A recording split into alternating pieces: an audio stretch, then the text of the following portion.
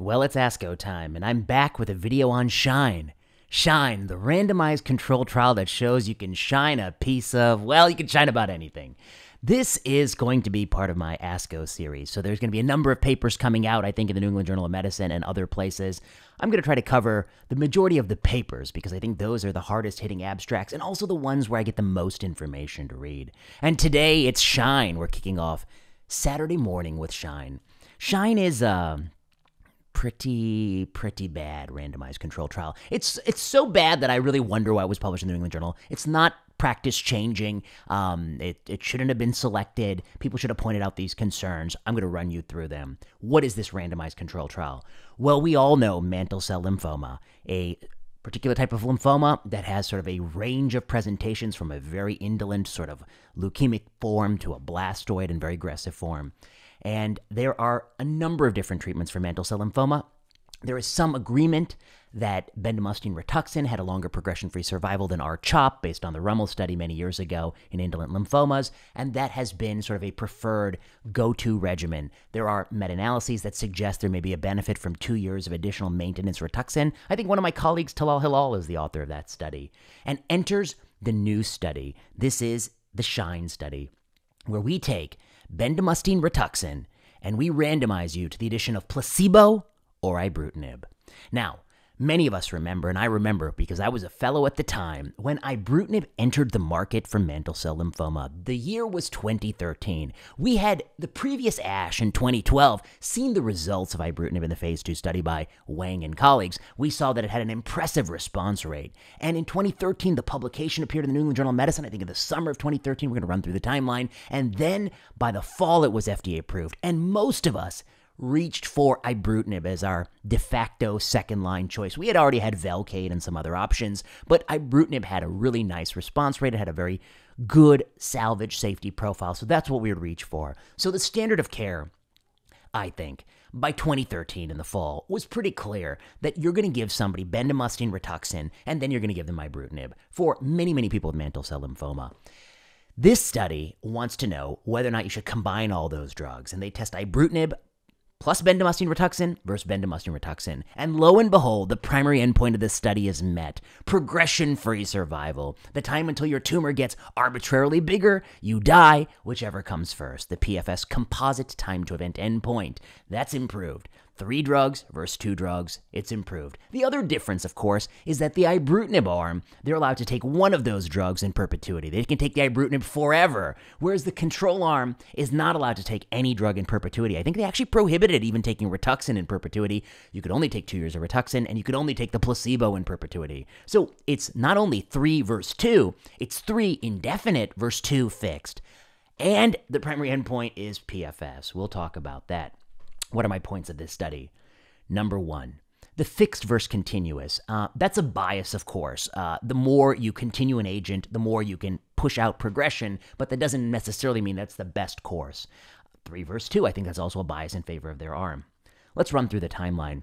I'm going to put it up right here on the screen. I think this is key to understand. It's going to start December 2012. This is when the ASH presentation came out, the phase two study of ibrutinib, and it was presented showed ibrutinib had dramatic responses in the salvage setting in mantle cell lymphoma. The authors of the SHINE study acknowledge that. I think it's reference 15 in their manuscript. Interestingly, they cite a 2015 paper as the first paper that established Rituxan, the phase 1 study, but that came out two years later. They don't cite this paper first. I wonder why. Maybe they don't want to draw attention to the date. December 12, December 2012, that's when we knew it had a response rate. May 2013, that's when Shine enrolls. It starts randomizing people to ibrutinib BR versus BR. Now, of course, you don't get all the people enrolled on the day one. It takes a while, and usually there's a little ramp up phase to enrollment. By June 2013, they had already published in the New England Journal of Medicine website the results of the phase two salvage study of ibrutinib. So we knew ibrutinib had a dramatic response rate there. And many of us were imminently thinking about it, thinking about reaching for it. November 2013, the FDA came out and granted marketing authorization for that indication. It could have been used before because it was already available. It could have been given off label. But now it has a marketing authorization, a supplemental marketing authorization for this indication, the salvage setting. Then the timeline goes red. Because from November 2013 to November 2014, they kept accruing on Shine, randomizing people to ibrutinib BR versus BR. But this time, and anybody who enrolled earlier who hadn't yet progressed, which by the way is the majority of them because the median time to progression is like four years in this study, all of these people who are progressing after 2013, which got to be the vast majority of people, they needed to be getting ibrutinib or a BTK inhibitor second line. And we're going to come back to that. That didn't happen. And this is the red zone. And then finally, they finished accrual in 2014 and they have their data cut off in 2021. And what do they find? They find PFS is better. OS is not better. OS is not better. And that's important. Toxicity is worse. Of course, you give more drugs, you can have more toxicity. And the question is is it better to give ibrutinib BR versus BR than ibrutinib? BR and then ibrutinib was the standard of care since November 2013. No doubt about it. Everybody I knew, everybody I knew was doing that. The vast majority of these people who accrued between May and November 2013 hadn't progressed until November 2013. We have to acknowledge that. The median progression here is four years. So we're talking the lion's share of the people in this randomized control trial, when they progress, they should be getting ibrutinib. And what happens?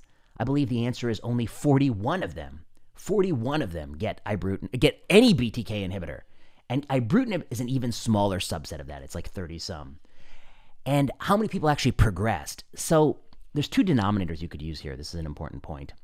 Some people say the denominator you ought to use is the number of people who got any second line therapy. But of course, this trial is accruing in places where second line therapy is not guaranteed to everybody in the study. And you may be in a place where second line therapy is not pushed as aggressively as in the United States. 106 people got second line therapy, but 150 people progressed. And only 41 people got any BTK inhibitor, 34 got ibrutinib, 4 got acalabrutinib, and 3 got zanubrutinib.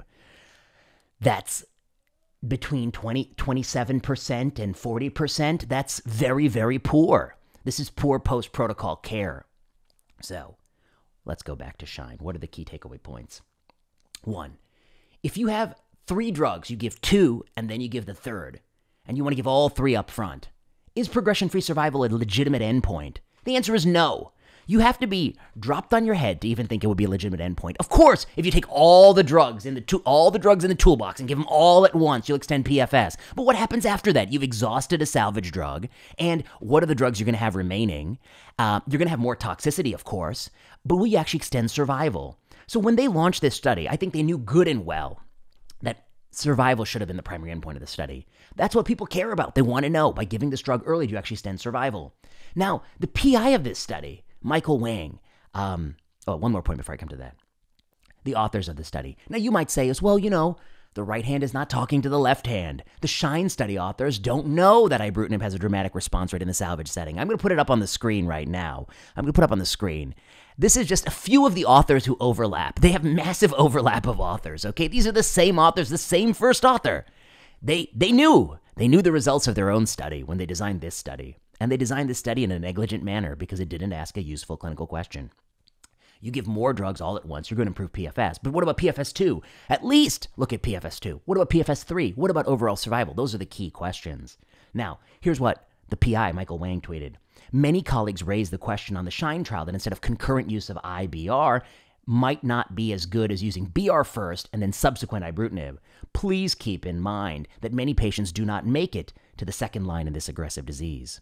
So what he's saying is that, you know, we have to do it all up front. Many people don't make it to the second line aggressive disease.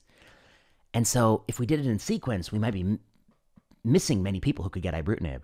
But think about that. If it is the case that there's so much attrition between first and second line because people aren't making it to second line, then what would happen to overall survival? There'd be a dramatic difference in overall survival. It'd be easy to see if that were true. But it's not easy to see. There's no difference in overall survival, even when you had negligent post protocol care in your control arm, which tells you that this is not a plausible explanation. Let's look at another comment. This is by uh, a doctor on the East Coast. Glad to see these data and how they will be applied or not in practice. Interesting to see some already opine and second guess that for a study designed more than a decade ago, with a median seven year follow up, that OS should have been the primary endpoint. Mantle cell lymphoma context and questions have thankfully improved over time. This person is saying that we couldn't have seen an OS benefit because the survival post protocol is so good. So already there's a huge contradiction between these two people's statements, which is true that so few people make it to second line that that we, we can't withhold the ibrutinib, or that people are living so long anyway that we can't say it's an OS benefit OS endpoint.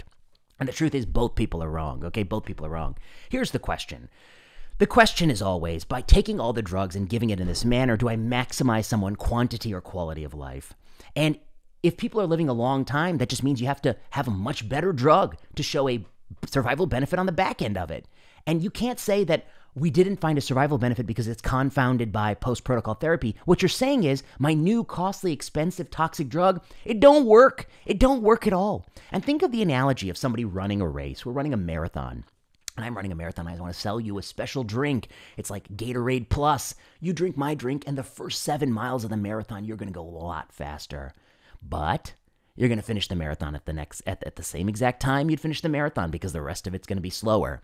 And then what if I were to say, well, you know, my drink does work, it makes you run faster, but it's just confounded by all those subsequent miles. You'll say, shut the hell up. This is a race. You know what the distance is, and you don't run it any faster. Your drink don't work. I'm not running the race faster. End of story. That's what you would say. And you'd be right, of course.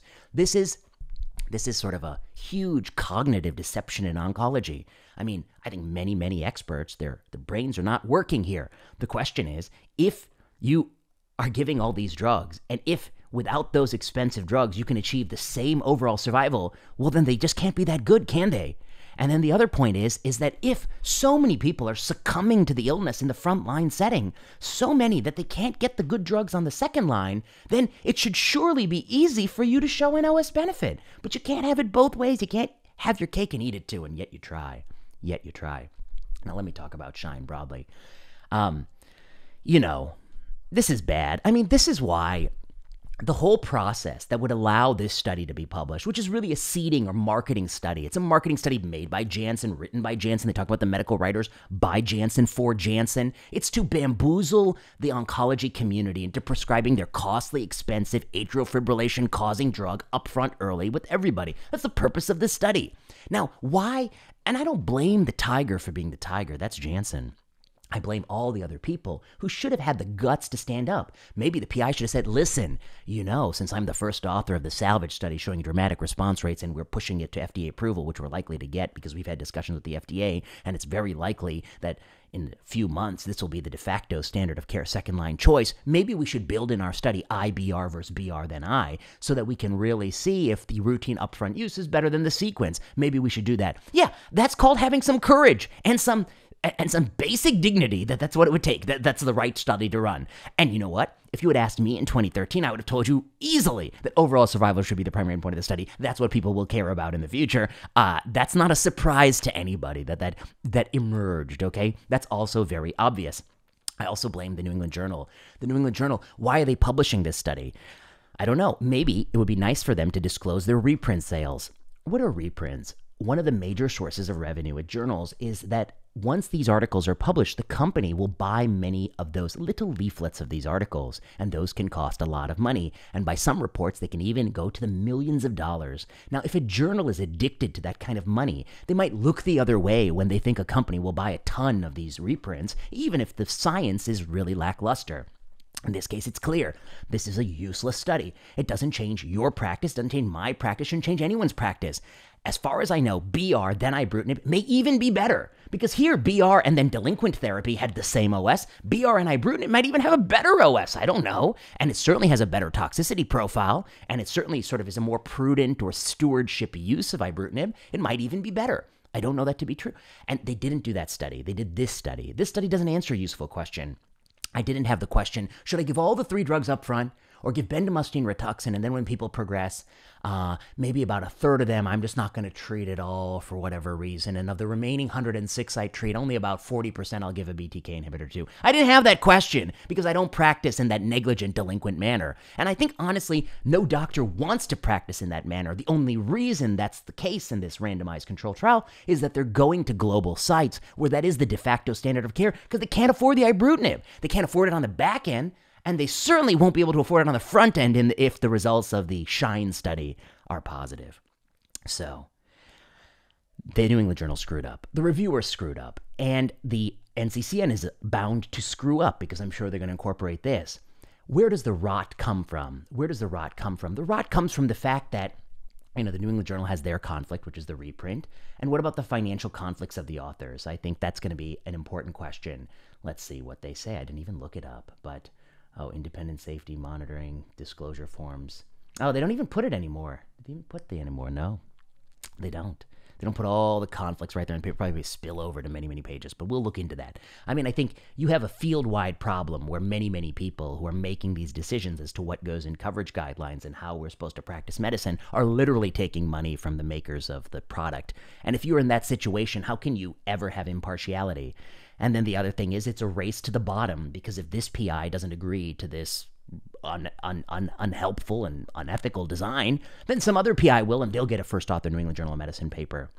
And the last point I'll make is that when you criticize randomized control trials, let's talk about this. You know, uh, some of us have been pretty critical of this. Aaron Goodman, myself, some others. Um, uh, who has the right to be critical of this? Well, we're oncologists who have to see patients in real life and counsel them about these decisions.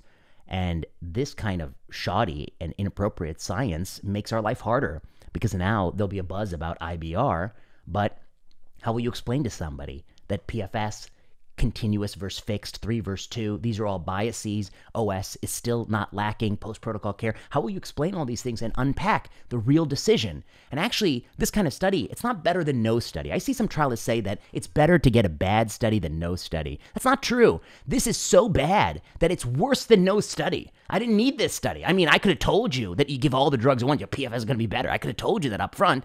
I didn't need this study. In fact, it makes the life harder for a doctor. It's actually more pollution, not information. And every doctor who takes care of patients has the right to criticize a study that is used to force and push and coerce us into changing our practice in an inappropriate way based on shoddy data. That's one. Two, the question comes do you have to run randomized trials to criticize randomized trials? I don't know. It must be hard to run a randomized trial when somebody else writes it and sends it to your inbox and you have to say, uh, okay with me, no edits. I mean, I don't know. It must be pretty hard to do that. So, anyway, that's obviously not the case. Many food critics, movie critics didn't actually make movie themselves. We all can appreciate and understand things that we utilize, even if we didn't manufacture, construct them. We can rate the iPhone without having actually worked in a factory making iPhones, etc., etc. It's a stupid argument made, I think, just to discredit the opponent and not acknowledge the fact that this is a bad study. They knew it was a bad study when they ran it. Anybody with an ounce of sense would have known the sequence is the real question. Three verse two, indefinite verse fixed. PFS is the primary endpoint. This is a self fulfilling prophecy. You want to run studies like this, you're just abusing patients. You're using patients as the scarcest resource we have. You're abusing them for the market share of Janssen. You're shining something, but, you know, frankly, it's a piece of shit. That's what you're shining. So, those are my thoughts on this video. You know what to do. Like, subscribe, comment, leave a message below. I'll put this on the plenary session feed. I think I'll cover probably the majority of the ASCO papers. Um, this paper, no good. We'll talk about the other ones soon. Until next time.